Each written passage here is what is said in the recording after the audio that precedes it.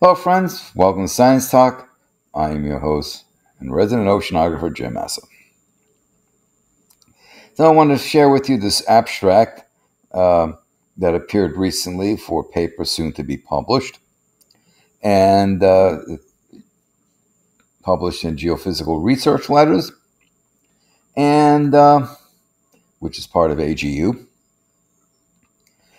increasing multi year sea ice loss in the Beaufort Sea, a new export pathway for the diminishing multi year ice cover of the Arctic Ocean. And the lead author is David G. Babb, and we have a bunch of his colleagues uh, Ryan uh, Gailey, Stephen Howell, Jack Landy, Julian, I guess, Strove, Streve, and David uh, Barber. Historically, multi year sea ice, MYI, covered a majority of the Arctic and circulated through the Beaufort Gyre for years. However, increased ice melt in the Beaufort Sea during the early 2000s was proposed to have severed this circulation constructing a regional multi year ice budget from 1997 to 2021 reveals that multi year ice import from the Beaufort Sea has increased year round.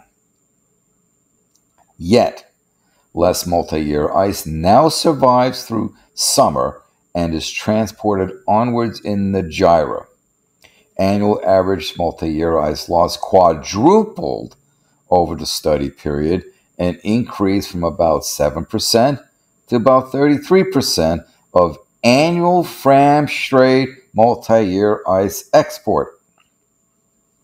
While the peak in 2018, approximately 385, uh, 385,000 square kilometers, was similar in magnitude for Fram Strait multi year export, the ice albedo feedback coupled with the transition toward younger, thinner, multi year ice, is responsible for the increased multi year ice loss. Multi year ice transport through the Beaufort Gyre has not been severed but has been reduced so severely to prevent it from being redistributed throughout the Arctic Ocean. So, what they're basically saying was they proposed that the Beaufort gyre mechanism was severed. That's what they proposed. What they're saying is this study does not support that hypothesis. That's what they're saying. What they're saying is that basically the loss of multi year ice is responsible. Younger, th- right there's the key right there. Younger, thinner. That means ice less than two years of age, maybe three tops. But except for a few holdout areas uh, in the, uh, the Canadian archipelago, four, five, six, seven year sea ice is pretty much gone. So we're looking at mostly one to two years, maybe three years. That's what we're looking at. We know the ice is disappearing. Now, this whole business here of import into the Beaufort Sea has increased year round. Okay, and we have the Beaufort Gyre. Okay, the Beaufort Gyre is a anticyclonic, so it is a clockwise flow. Now, as it's flowing in the clockwise direction, you have the trans-Arctic current which is part of the result of water flowing in the Atlantic side. Now, usually, the ice that's in that gyre, as it swings to higher latitude, it can be picked up by that trans-Arctic current and sent out the Fram Strait. Part of that multi-year uh, ice uh, export. Why doesn't it all the time? Arctic dipole. because the Arctic dipole can constrain the flow to keep the ice within the Arctic Ocean basin or facilitate the flow out the Fram Strait. So, in other words, the because the Arctic dipole, you got high and low pressure systems there, you got wind forcing, they're going to influence what the Beaufort gyre is doing. And by that influence, it could readily entrain the ice to go out through Fram or not. and uh, you're probably sick of me saying this already, but uh, happily, um, uh, uh, um, I am proud to say that uh, um, I had a hand in figuring out all this. Not this specific study, but the general idea of the Arctic dipole, what it's doing to the sea ice, the ice flow uh, directions, and etc. So they list the key points here. Multi-year sea ice area lost in the Beaufort Sea quadrupled from 46,000 square kilometers per year in 97 to 2001 to 183,000 square kilometers per year in 2017 to 2021. So, in other words, in 20 years, the ice loss quadrupled. The peak, so this is these are average values. The peak ice loss was 385,000 square kilometers in 2018, which is close to the annual multi-year ice area export through Fram Strait. Beaufort Sea has become a multi-year ice export pathway rivaling the Fram Strait, encouraging the Pan-Arctic transition to seasonal ice cover. Pan-Arctic transition, that's based, that's also saying how the Arctic is transitioning, but it's also a reference to the, the, the uh, current that flows through the center of the Arctic. So now that what they're saying is that the Beaufort Sea the, and the gyre that's found there, think of it as a gear that's just kicking up because you think you know a anticyclonic uh, flow tends to have a convergence zone in the middle. So you expect the ice to convert and be constrained. Now they're saying that it's not that the due to the various forcings it's changing and it's helping to shove some of that ice into the currents that ultimately take it out through the Fram, as opposed to just the ice in the rest of the basin being pushed out through the Fram. So, what's the plain language summary? Historically, sea ice grew thicker and aged into multi year sea ice and it was transported clockwise around the Beaufort Gyre for up to and beyond 10 years knows you could have ice uh, older than 10 years. A rarity, but it could happen. Typically, it was around seven. You know, and you know we could date it with confidence to you know seven years. This pattern facilitated the pan-Arctic distribution of multi-year ice that was typical of the 90s, of the 80s and 90s.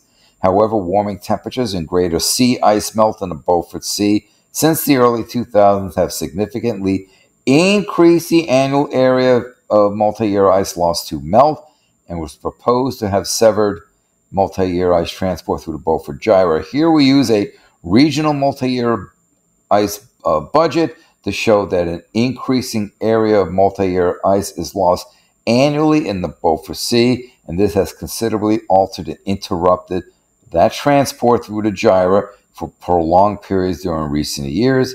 This change has implications regionally for wildlife, shipping, local communities. Okay. To kind of sum up what they're saying there,